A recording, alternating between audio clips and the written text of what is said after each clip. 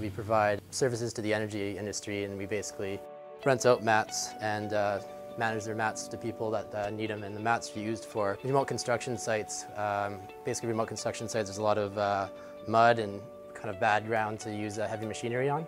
And uh, if you were to not use mats on them, the heavy machinery would just sink into the ground and uh, basically be useless. So what this company needs are, are these things called access mats that are kind of laid out all over the remote construction sites and uh, make platforms that these heavy machinery can go on and actually do their work that they need to do. Often these mats get lost or misplaced or stolen.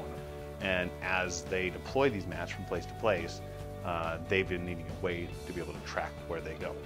And so they've been experimenting on their own time with UHF RFID systems where they've been putting tags inside of the mats and they've had good success, except that um, there's nothing that's specifically made to meet their needs.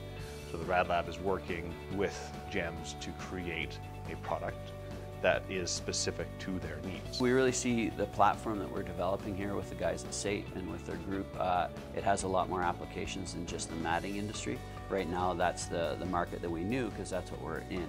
But uh, we've all along felt that, you know, every everything that we see out there, we see a lot of opportunity for tracking of the dark assets, as they're called. You know, anything that's not digital or hooked up or in any way visible within an automated system. So we really see taking this platform and going beyond matting into all of the other assets that are out there that are currently not being tracked very well.